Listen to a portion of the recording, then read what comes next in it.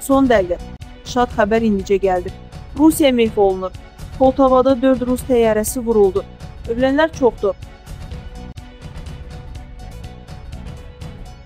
Prezident Administrasiyasının Xarici Siyasət Məsələləri şöbəsinin müdiri Hikmət Hacıyev Twitter hesabında Xocalı faciəsi ilə bağlı paylaşım edib. Hacıyev Twitter hesabındakı paylaşımda 30 il əvvəl Xocalıda əsir düşən Ləfxanın Mahmudovu yaşadığı dəhşətləri xatırladıb. Bu gözlər çox şeylərin şahidi olub. Plakatdakı foto Xocalı soyqırımından sağ çıxan Ləfxanıma aiddir. O 9 yaşında ikən 1992-ci ildə Xocalıda ermənilər tərəfindən törədilmiş vəhşiliklərdən Azərbaycanlı jurnalistə danışıb və bunlar lentə alınıb. Atası gözlərinin qarşısında öldürülüb. O bu xatirələri unuda bilmir deyə Hacıyev bildirib.